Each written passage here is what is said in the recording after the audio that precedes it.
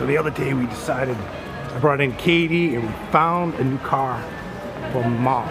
So we're gonna go try to surprise her. We'll see how that works. I, I gotta go get the, I gotta go get our, our, my cohort to go surprise Rachel. Where is he?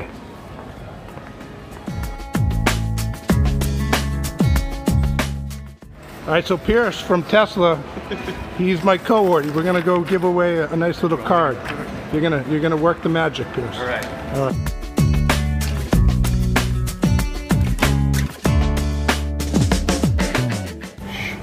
I'm staying behind the scenes. I'm st- not here. Where did she go? Let's see if she's in here.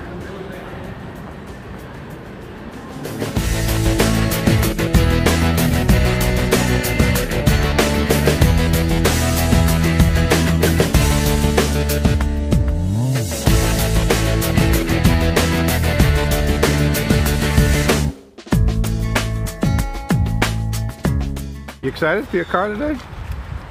Yes, all right. All right, first place we're gonna go after Tesla. We're gonna go.